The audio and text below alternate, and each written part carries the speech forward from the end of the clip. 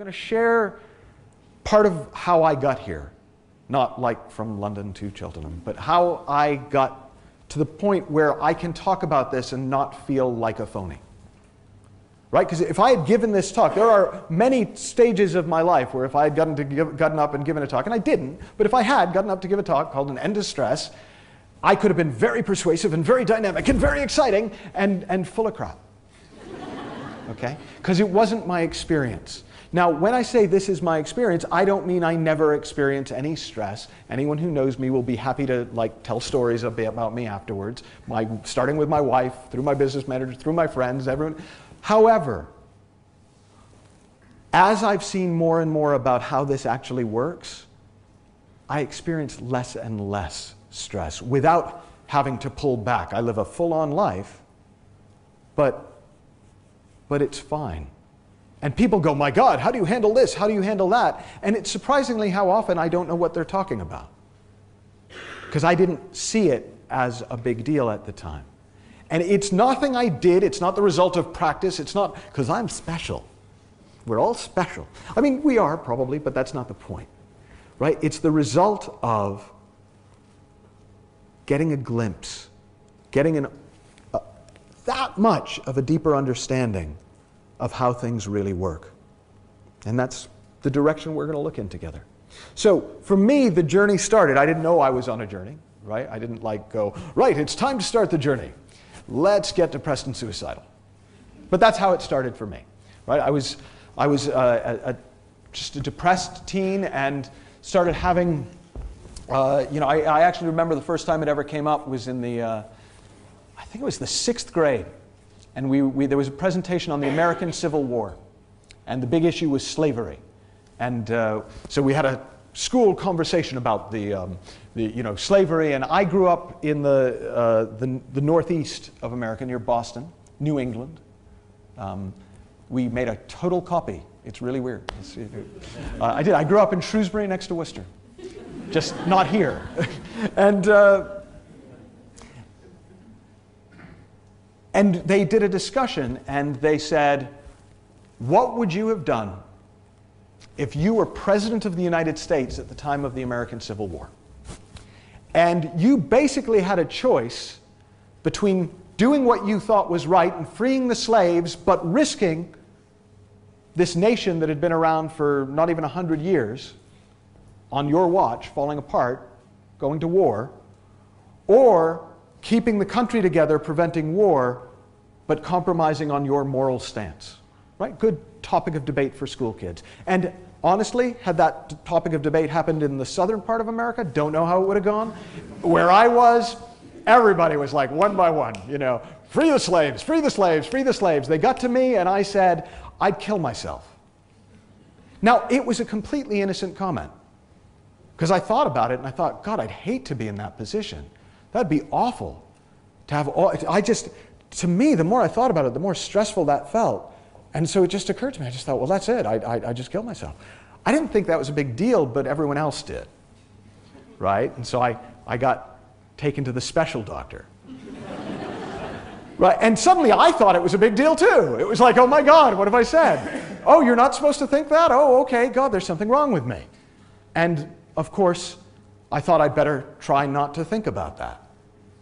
Well, we all know how good a strategy that is, right? So I tried really hard not to think about that for years. And of course, every year, I thought about it more and more. I got very depressed, like clinical depression, like miserable depressed. Like uh, one of the highlights, maybe lowlights, I don't know.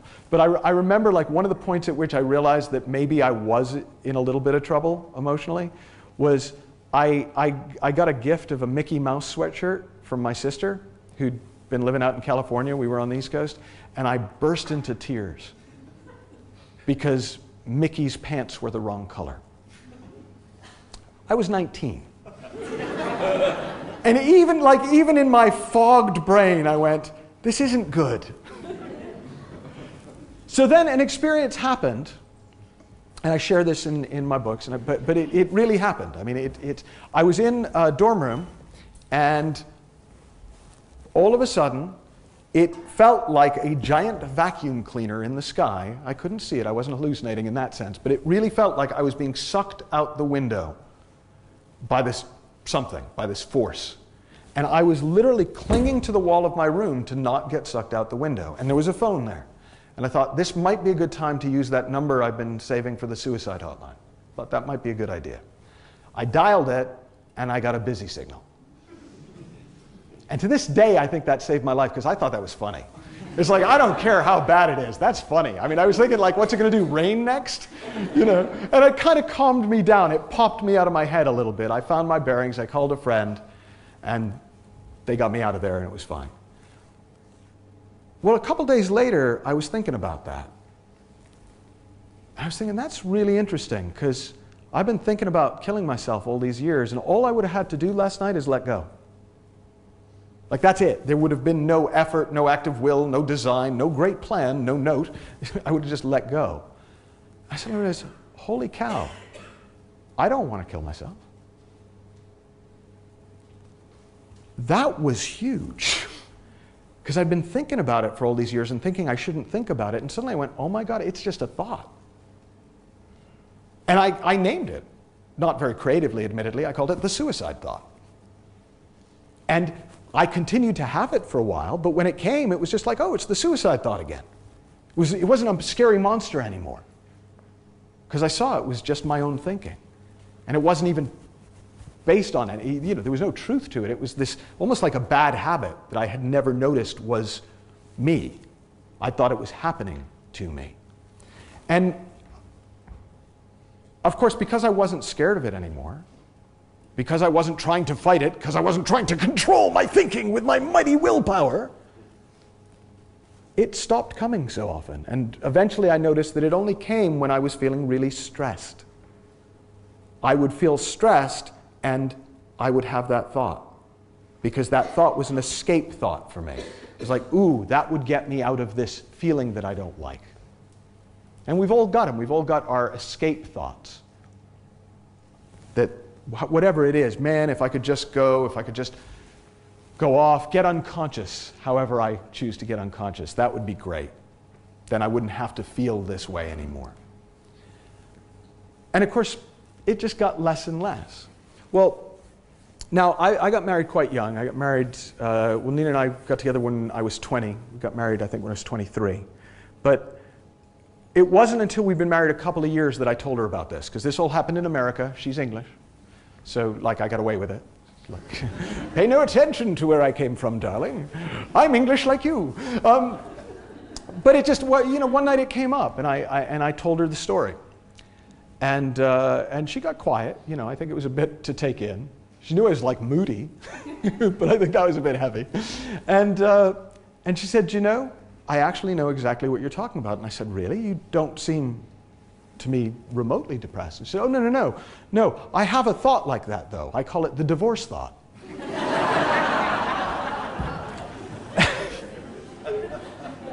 and uh, apparently, I'm not always easy to live with. I mean, go figure. I don't know. But, but she said early on in our marriage, and uh, you know, whenever she got stressed, she would think, well, this isn't going to work. I mean, marriages don't work. So many marriages don't work. My parents' marriage didn't work. You know, I, we just need to get divorced. Let's get it. Let's just. Get, it was an escape thought right? And at some point, she realized that despite the fact that I am not the most tidy man on the planet, and that from time to time I do things that may seem irrational to those of you who are rational, she liked me. and she wanted to live with me. And so it became just a thought. It lost its power because she could see what it was. It was just a thought. Thoughts, right? We are so scared of thoughts in the, in the, in the, in the sort of spiritual community, in the sort of self development community, because thoughts are things and thoughts have power, and you've got to think these thoughts and not think those thoughts, and bad thoughts, good thoughts, and think good thoughts. And, and I'm going to talk a little bit about my journey through that, right? Because I went through all that, absolutely. A thought has no power until it comes to life through our consciousness. And then it's got all sorts of power, right? Then it can affect everything. Then we can measure its effect in the bloodstream. We can see the release of cortisol and adrenaline and noradrenaline and all that kind of stuff in our brain and in our bodies, and we get really stressed out and we can kind of connect it up. But a thought is no more powerful than a tea bag without hot water. Right? I don't care if you don't like a particular tea, it, it, it's not that scary in bag form. Lapsang Souchong. Lapsang Souchong! right? It's just, it's just, it, but once you pour hot water on it, it brings it to life. Well, consciousness brings our thinking to life. We experience our thinking as if it was really happening. And we physiologically could be sitting on a park bench, and if we were hooked up to an EEG machine and an EKG machine, just because we're thinking and consciousness is bringing our thoughts to life, it would look, if you were just reading the EEG and the EKG, like we were really busy. And there was all sorts of stuff going on, right? Because that's the experience that we have. So for me, sorry, I'm going to. I went through the sort of usual pathways that most people go through to try and be happier, you know, to try and have a better life. Because that's kind of what you do. You start out and you go, How do I have a good life? And you kind of look outside you and you go, Well, according to, to Hello Magazine, the way to have, I mean, there is no better source, right? I mean, look, come on, millions of readers can't be wrong. Uh, so, you know, apparently the secret of success is to have lots of great stuff and be famous and pretty. I thought, well, I can do that. Right? So that was my plan. well, it doesn't actually work that way. Uh, it turns out, and if you actually read Hello Magazine for more than a month, you'll see the same people who were on the front cover because they were the happiest, most successful people on earth back in there because they're now the most miserable, broken people on earth. And then they go back and forth and back and forth. And, you know, it, it's interesting. So it dawned on me pretty quickly this was not the secret of happiness. That, that no matter how successful I got, that was unlikely to be the actual path to a, to a better life. And, and maybe you found that for yourself to a certain point. Maybe you're still in that, that place. There's a prayer in the 12 step programs Dear Lord, I know that success and wealth will not bring me true and lasting happiness. But Lord, please let me find that out for myself. so maybe you're still there, and that's cool. But I got that that wasn't going to do it. So I thought maybe being a good person might be a good idea. Right? I'd read that in another book. Right? That being a good person would be maybe the path to a happy and fulfilling life. So I set out to do the right thing wherever I could. not saying that's a bad thing, I think it's a great thing, but not as a strategy for being happy. Because what I found is sometimes I did the right thing and I found that even more stressful, in fact, often more stressful than doing the easy thing. And so at some point I went, this strategy isn't working either. So I ticked it off the list. It's like, okay, it's not having the right stuff it's not doing the right stuff. So then I got into self help. It's thinking the right stuff. That's the secret. I just need to think only positive thoughts. Easy. For almost like 10 minutes, I did it. Unfortunately, I realized I was going to be alive a little longer than that. So, so I got more creative and I started studying more advanced psychologies and things like NLP, and you, you, know, where I could learn to, to program my mind so I didn't have to manually switch the thoughts to positive. I could program myself so my brain would work in a positive direction. And it got better, okay? Not gonna lie, it got better. But man, it took a hell of a lot of work to maintain. It's like spinning plates right? Okay, yeah, yeah, we're going good. This is good. Yeah, now I'm thinking positive thoughts about this. Ooh, bad thoughts about the relationship. Let me go fix that. Oh my God, what's happening to my business? Oh! Right? And it, it's if you've tried that as your primary strategy for happiness, you've probably found you couldn't pull it off. It, it, please raise your hand if, if you've had an experience like that, right? Where you tried, I'm going to think the right things, I'm going to do the right things, I'm going to get the right stuff, and it didn't work. Okay? It's, most people do. I mean, that's just a natural. Even if you weren't in this room, if I did this with a group of people who thought they were coming to see Eddie Izzard or something, they, they, if they answered honestly, they would say the same thing. Because those are the strategies we're given. Those are the choices we're given. Now, what's interesting is what people make up about why it didn't work. Because what almost everybody makes up about why positive thinking doesn't work sustainably is I must be doing it wrong. I must not be trying hard enough. Maybe I read the wrong book. Maybe if I read this book, this one will work. Oh, I got, I've gone to, you know, I went to the wrong teacher. Now I found the real teacher, and for six months it's great, and then you find out that, huh, this still isn't working. Oh, maybe I got, maybe I, maybe I've got the wrong practice, or I, I need to go deeper in my practice. And we do it, and for a while it helps. And then we find we're still there. And that was my experience. Is my life was better. Do not get me wrong. My life was better and better and better. It was a million miles away from where it had been. But I knew in my heart of hearts, I was about two weeks away from being right back in the thick of the depression, right back in the thick of the stress, right back in the thick of all of that. Now, I was doing everything I could to not go two weeks without it, but that was it. That was my buffer. At my best, that was my buffer. I had two weeks. Two weeks of not practicing, two weeks of not reading the positive stuff, two weeks of not ingesting positivity before I would be down. Down in the. And, I, and, at some level, I thought, this can't be right. But on the other hand, I didn't have any other idea. Like, no, nobody seemed to have a better suggestion. People kind of said, yeah, that's how it is. That's the nature of life. You got to work hard at this right? No pain, no gain. You get out what you put in. And, and so that was, that was kind of what I knew. And then, by accident, really, I, I came across a different understanding, a different way of explaining how our experience is created. And I, I, at first, I didn't even really get it. I just noticed that everything in my life seemed better. And it was weird. I mean, it was to the point where I'd had this big problem. And a friend who read a book on this understanding and, and he said, Oh, you got to read this book. It'll really help with your problem. And I mean, this was, this was a pretty big problem I was facing. It felt it at the time. And, and I thought, Oh, God, I got nothing better to do. I read the book. And about a week later, a friend called and said, Hey, how's it going with that problem? And I said, What problem? And he said, What do you mean, what problem? You know, you were, you were saying that you were going to have to change all this stuff. It took me a couple of minutes to even remember what he was talking about. And I thought, that's weird. Perhaps I should learn everything I can about this. Because I had no idea what happened, I just knew something fundamental had shifted. So I started to study, and even before I really knew what I was talking about, I started talking to people about it. And I, in fact, I decided to do a little experiment because I'd been coaching people for years. So there's no shortage of people who would send me a. Um, I used to call them the, um, the, the Star Wars letters. You know, help me, Obi Wan Kenobi, you're our only hope.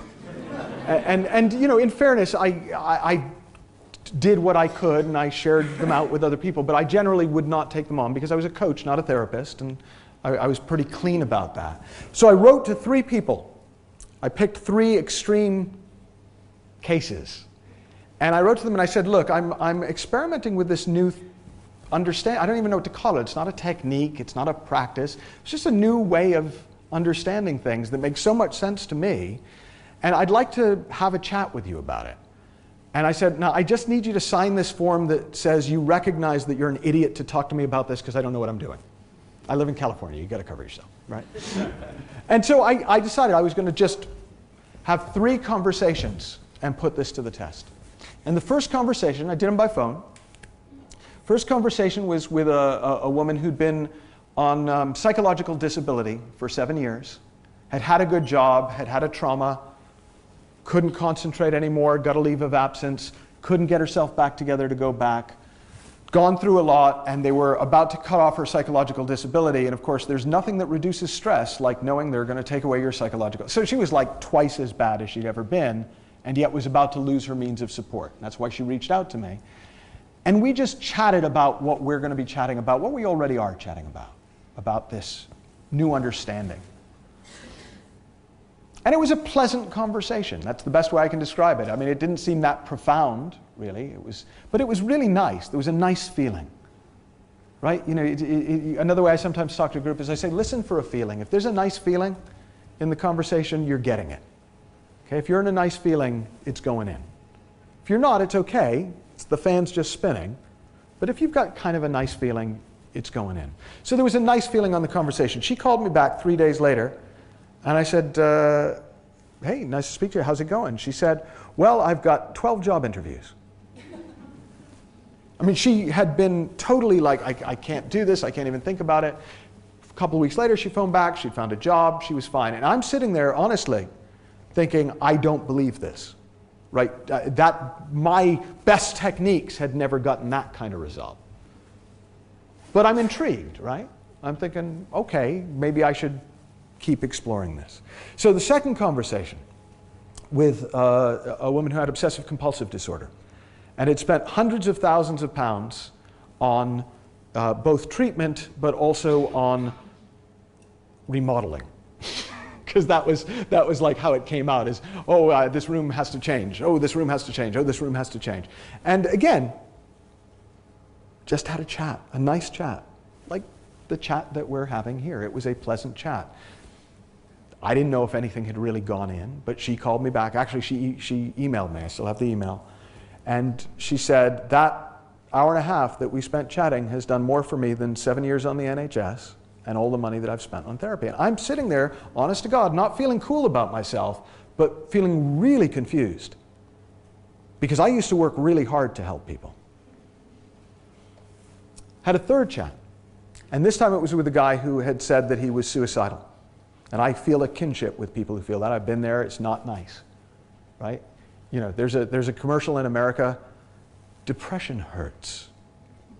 It does, right? If you've dealt with it, it hurts. So I had a real, my heart went out to this guy. But in my head, I sort of thought he was just saying that to get my attention. well, I call and his wife answers the phone. And she says, Oh, are you the coach guy? And I went, Yes, that's me. And uh, she said, Good, because he keeps asking me to kill him, and I am sick of this. and in my head, I am going, Oh dear God, what have I done? but we had a chat, and there was a nice feeling. And at the end of the chat, honestly, I could tell he didn't really get it. But one of the things that he was worried about that his wife would leave him. And based on the little chat I had with her, I thought he might have a point. So I said, Do you mind if I chat with your wife? And he said, No. And she came on, and within five minutes, she said to me, You know, I was going to leave him. I'd had it. I don't know what I was thinking. I don't want to leave him. I love him. And I just actually, so that again to me was remarkable just to bring that, that story to a close. I actually stayed in touch with the guy, and he went through a lot, but I got an email from him. Um, do you remember when it was? I think it was during Supercoach Academy because it was, I, I, it, it was within the last six months saying, completely great, turned it around, life is great. That was a few years on. So for me, what that told me was that this was probably worth looking deeper into. And what I find, the deeper I've looked into this, is that the only reason I can come up for with why it works is because it's true. Now, I am not a guy who would have stood up here even five years ago and tried to talk to anyone about what's true. Right? I would have been the one in the audience going, Whose truth specifically? Truth according to whom? By what standard? How are you measuring that? How are you evaluating that? Right? So I, I am not predisposed to think in terms of truth. But there are certain things I've come to see that just are true. For example, people think. Yes? That's just kind of true. I mean, I'm sure there is a way of arguing it, but the point is, people think. That's just true. People are conscious, they are aware. Maybe not that aware, maybe aware of some things and not others, but people have the capacity for consciousness. That's a truth. Right? That's not a personal point of view. The personal point of view would be what are the implications of that, what that means, where it comes from, how it works. People think. People have consciousness. People are alive when they're alive. Right? Those are just simple truths. And what I find really interesting is for having spent so long arguing for my right, for my personal truth, to see that actually there was a there there. That there, there actually is something behind life that's just true. I'll give you an example of a, you, you know, a, a, a, simple truth. Um, let's see, I've got one here. We got a pen. Oh, yeah, okay.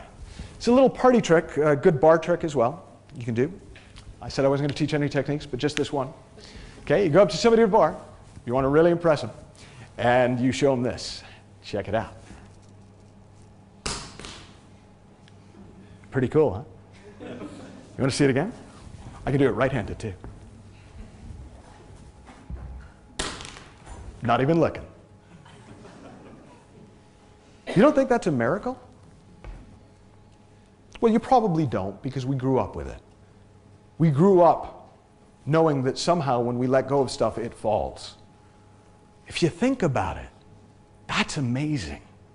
But we've grown up with it, so we don't see its, its amazingness. And we don't even notice its implications in things like exercise and physiology and flight and design and the way it informs so much of what we do on the planet.